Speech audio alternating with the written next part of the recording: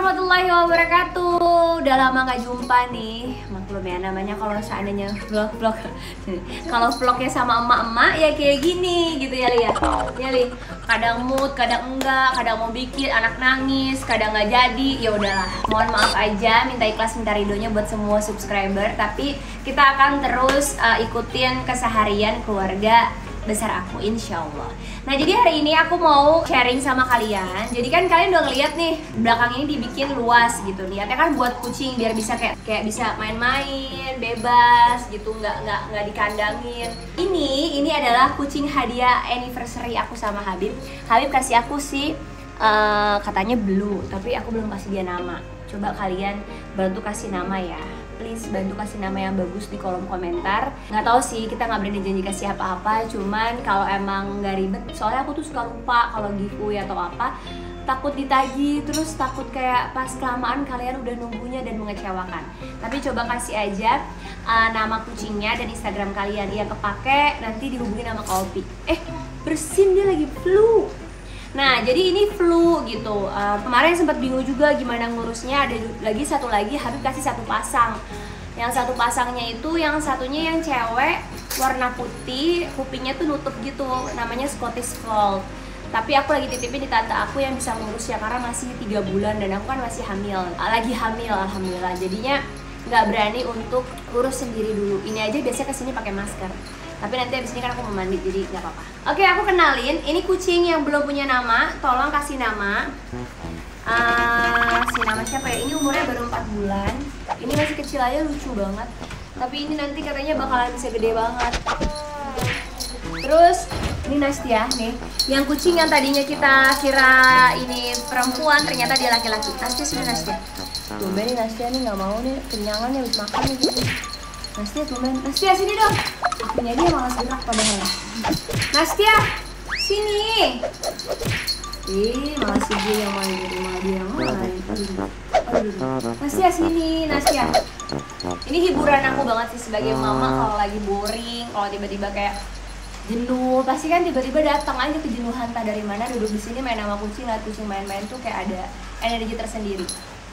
Di situ ada kucing uh, anak dari kucing aku yang pertama namanya Mili ini ibu melahirkan yang sekarang nggak tahu lagi hamil atau enggak karena abis baru kawin lagi ini Mili ini anaknya Mili yang lagi belekan tapi uh, lagi proses penyembuhan doain cepat sembuh tapi ini yang paling aktif banget. Namanya siapa sih kak dia ini belum dikasih nama juga nih. Si belek sebenarnya tapi nggak boleh kata Habib ngasih yang nama yang buruk karena menjadi doa nanti dia belekan terus. Nah ini Nastia nih kucing favoritnya Kalisa.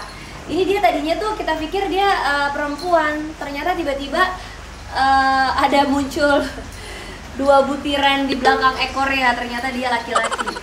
Jadi namanya diganti sama Kopi Nastio, Sofan Kopi.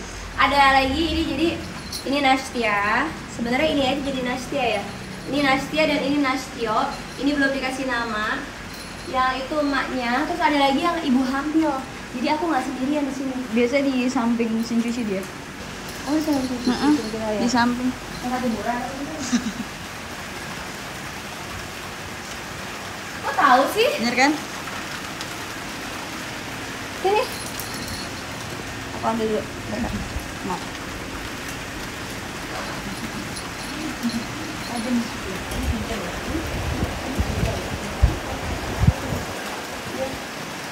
nih. Ini namanya Milo. Itu Billy ini Milo. Ini kucingnya Empeh. Ini kucingnya Empeh nih si Milo. Kesayangannya Empeh.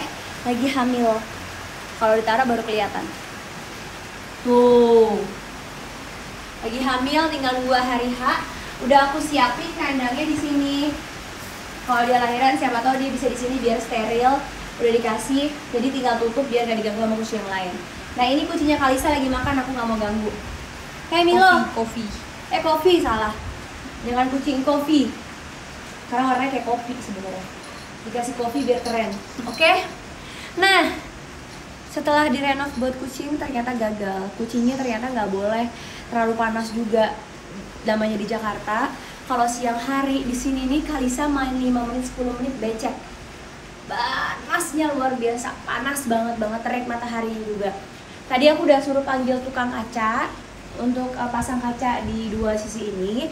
Insya Allah mau aku kasih AC jadi biar mereka uh, ada ruang AC-nya kalau siang-siang ke pagi matahari ada itu biar dia di ruangan AC karena kasihan mereka tuh sampai ngadem yang ada tanah sedikit kan. Tanah kalau basah kan dingin. Atau dia ke tempat yang tadi mesin cuci kan itu lantainya uh, keramik. Jadi mereka ngadem. Atau mereka ke ujung depan pintu kamar. Kayak gini nih.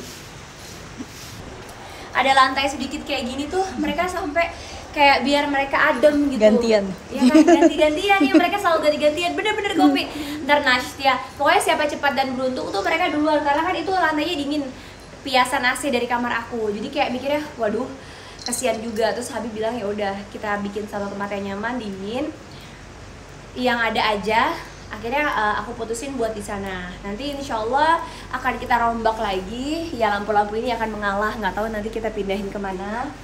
Dekor ini dan nanti uh, di kanan kirinya tuh aku mau kasih tempelan buat mereka main. Tapi aku masih cari dulu uh, belum belum beli lagi konsepnya dulu aja maunya kayak gimana. Nanti kita lihat jadinya tempat kucingnya kayak gimana. Mudah-mudahan bagus dan sesuai harapan aku. Karena biar kucingnya sehat tumbuh besar terus aku senang. Jadi bingung juga nih ada yang mau lahiran lagi terus juga yang kecil-kecil masih banyak.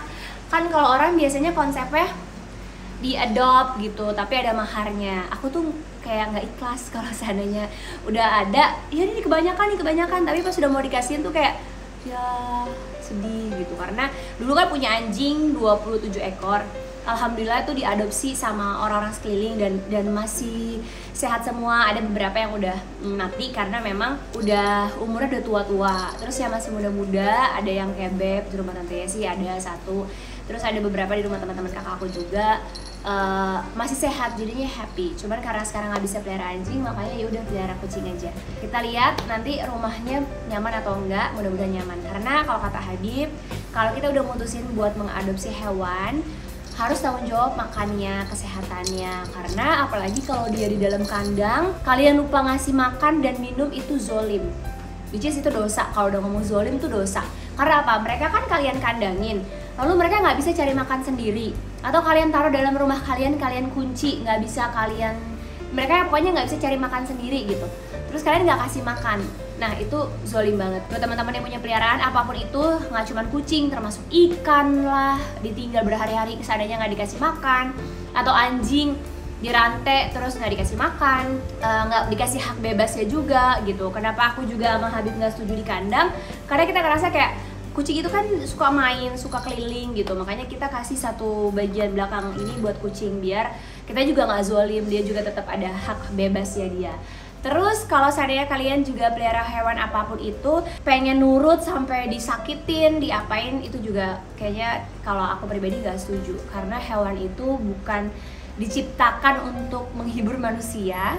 Kita yang dikasih akal dan otak menurut aku kita yang harus berakal gitu untuk menjaga uh, kemakmuran hewan itu sendiri gitu. Jadi kayak banyak banget buat atraksi uh, buat biar bisa mencari pundi-pundi. Sebenarnya sah saja kalau itu tidak menyakitkan dan menyenangkan si kucingnya gitu. Kayak nggak bisa kita paksa buat mereka atraksi.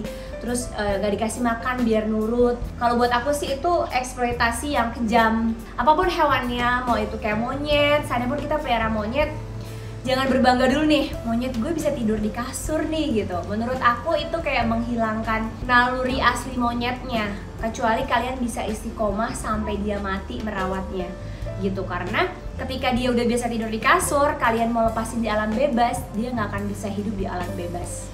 Kayak gitu. Sama kayak burung makau nih udah biasa dipelihara dari kecil dari telurnya maka sampai besar harus dipelihara sama kita. Karena kalau saya dilepasin di alam liar dia nggak bisa cari makan sendiri karena dari kecil nggak dilatih. Itu sih buat aku. Jadi buat kalian yang pelihara hewan apa pun monggo silakan.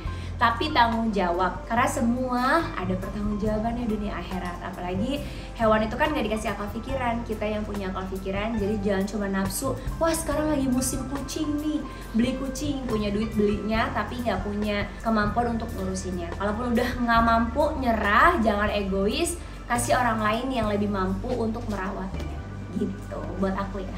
Terus juga ngebreeding kucing juga boleh tapi fase dia nikahnya juga kawinnya juga dijeda biar kucingnya juga enggak eh, cuman untuk di breeding doang biar tetap sehat juga kayak gitu sih. Buat aku manusia harus pakai hati nurani setiap kali berurusan sama hewan. Oke tunggu jadinya kayak apa mudah-mudahan bagus dah